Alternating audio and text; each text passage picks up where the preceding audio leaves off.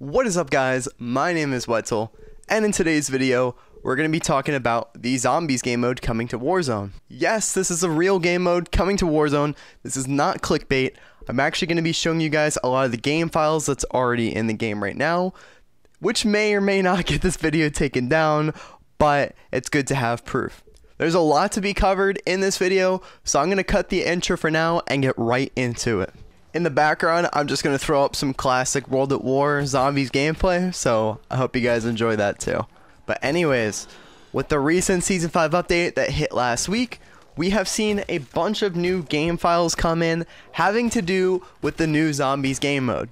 First off, we have the Quick Revive emblem that has been put into the game, if you guys don't know, Quick Revive is a perk from zombies. It allows you to revive faster, and when you play solo, it basically gives you a self-revive.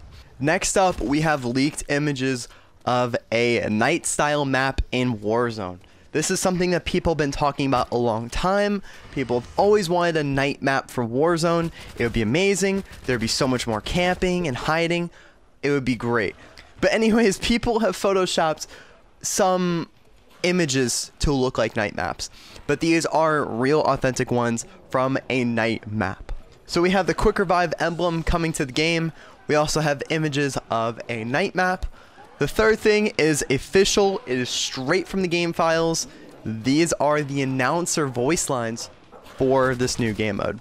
It is about a full minute of audio, so I'm going to disappear for a minute and let you guys listen to that, and after that, we'll come back and discuss how this game mode works and possibly when it's going to release.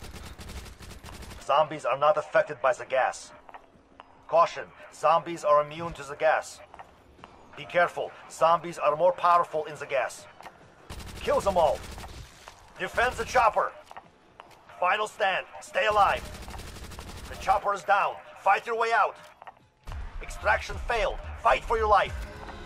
Extract failed, Fight for your life! Consume enough remains to respawn as a human. You'll become zombie if you die. A member of your team has to be human for extraction. Last human team standing wins. The dead will become zombies. Be the last human team standing to win. You're out, but your teammates can still buy you back. Zombie teammate killed. Raise the dead at buy stations. You need to keep one person on your team alive.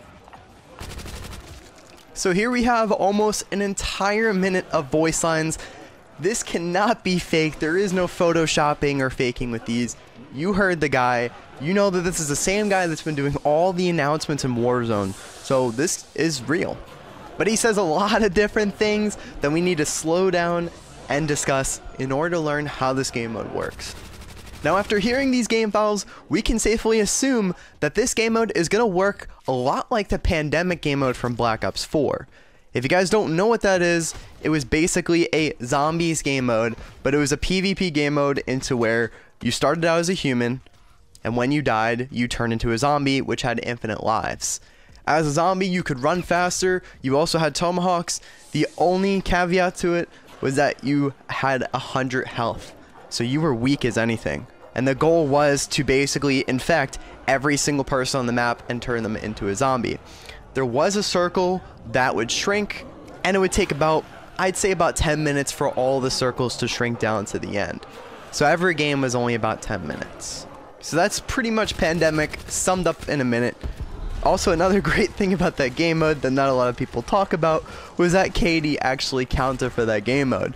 So if you killed 90 zombies, aka 90 other players, those 90 points went straight to your KD, and that's how people achieved like 5, 6, 7, 14 KD ratios in Blackout.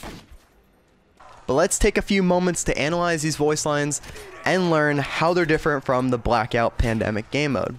So first off, like any other game mode, you win by being the last team standing. Great. But we also hear mentions of an extraction, which may be another way to win. I'd assume it's like maybe there's like a couple opportunities where a helicopter lands, you get on it, and if you don't get killed while getting on it, you win? I'm not too sure. Judging by the voice lines, it seems like your extraction could be cancelled by other players, whether they blow up the helicopter, or they shoot you while getting on it, or maybe a zombie comes along. I'm not too sure. Speaking of the zombies, the way you become one, I'm honestly not too sure, but what we know is that they are immune to the gas. So if you're a zombie, you could run around the gas and take no damage. And also as a zombie, you could turn back into a human, supposedly if you consume enough remains. I guess that means um, kill humans or loot humans. I'm honestly not sure what that means. But otherwise, there are ways to turn back into a human, which is awesome. And then the last things these voice lines talk about are buybacks. So what this means is if you get killed by another player, like let's say you're a human and you get killed by another human, it seems like you're just going to go into purgatory and you could just get bought back. I don't think you immediately become a zombie. I think maybe the way that it works is that if you don't get bought back fast enough, you become a zombie. Um, I'm not really sure. But judging from the voice lines, that's what we know is going to happen. So that's everything we have about the new Zombies mode that's coming out. We're going to talk about a release date and then we're going to wrap up the video. So judging from the voice lines and all the other game files, it seems like this is almost like a finished game mode. I don't know how long it takes to make a game mode, but I would assume it comes out in the next couple weeks. Multiplayer for Cold War is actually getting revealed in a few days on September 9th. So we may see it on there. We could also see a Halloween release because it is a month or two from now, but that's kind of a reach. I don't know if that's correct. But anyways, it's going to be soon. If it hits the game files, it's going to be released within the next month or two for sure. We've seen this with many other things in the game, such as the ISO SMG, the Rytec Sniper, the Juggernaut game mode, and a whole bunch of other stuff. So yeah, if it's in the game files right now, it's coming soon. And with that, I'm really out of things to talk about, so I'm going to go ahead and wrap up this video. I really hope you guys enjoyed and learned something from it. One quick thing to remind you of before I go, I am streaming again on Twitch very, very soon. So if you guys want to follow me over on there and get to know me while I'm live and just hang out, I would greatly, greatly appreciate that. Otherwise, my name is Wetzel, and again, I hope you guys enjoyed the video. Until next time, peace.